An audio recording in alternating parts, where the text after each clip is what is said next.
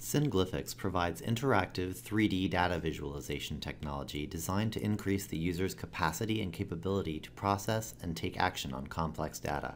The company's approach is informed by perceptual engineering, the optimal design of a visual environment to enable the user to more efficiently interact with and synthesize high-dimensional and complex data sets. This approach is supported by academic and government-funded research on how the mind best understands and processes complex data. SynGlyphX has partnered with Praescient Analytics, a veteran-owned small business that delivers training, data integration, platform customization, and embedded analytical services with leading technology providers. Praescient's team of analysts and engineers deliver comprehensive solutions to federal and commercial clients engaged in critical defense, law enforcement, intelligence, cybersecurity, financial, investigative, and legal analytics missions. In this demo, SynGlyphX and Praescient Analytics joined forces to look at Iranian vessels over a five-year period.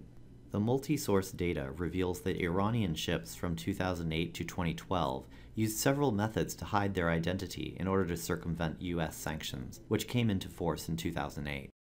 A 2010 UN Security Council resolution also requires all states to inspect cargo of ships operated by Islamic Republic of Iran Shipping Lines, or IRISL, Iran's main shipping fleet. Data compiled by Reuters shows that Iranian ships used seven specific methods to hide their identities, including changing the name of the vessel, the country or flag under which it was registered, and ownership details. In order to visually explore this data, we created both still and animated visualizations using SynGlyphX' visualization technology. To start, we represented a single ship, as you can see here, as a sphere which is colored according to how many changes occurred in that year, with the most suspicious ships colored red. Above each ship is a stack of rings, with each ring representing one year of time from 2008 to 2012. Connected to each ring are colored, cube-shaped objects that represent the seven types of changes to the ship's identities. Sometimes, Iranian ships would change one of these variables more than once in a year, which we represented by increasing the size of the cube for that year. In this first visualization, our high-dimensional representation of ships are placed in geospatial and temporal contexts.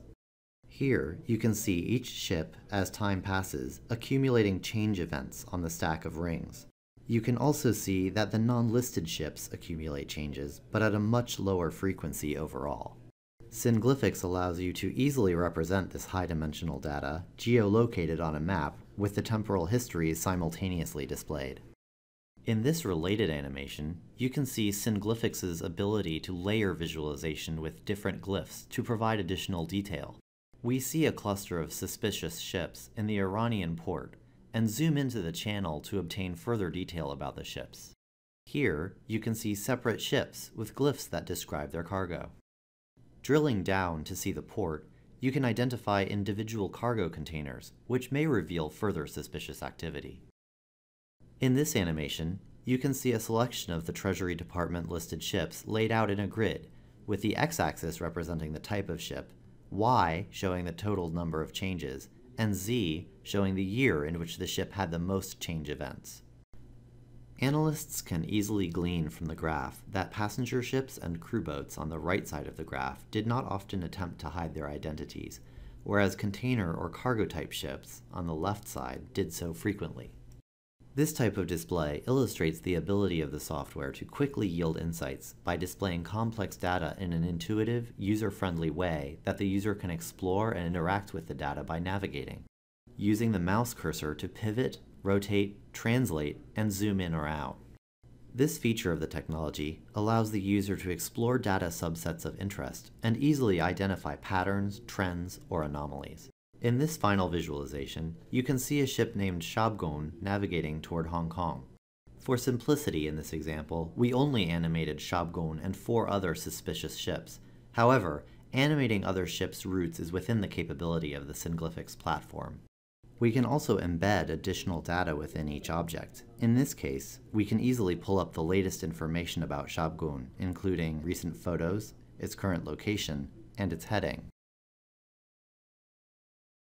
In this demonstration, we've shown that SynGlyphX' powerful visualization capabilities can be applied in a variety of ways to illustrate different aspects of a real-world issue, and that their technology allows users to both discover and communicate key findings in complex datasets.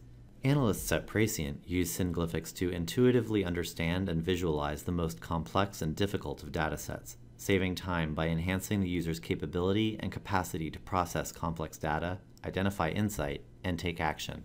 For more information on SynGlyphX and Praescient Analytics, please visit their websites.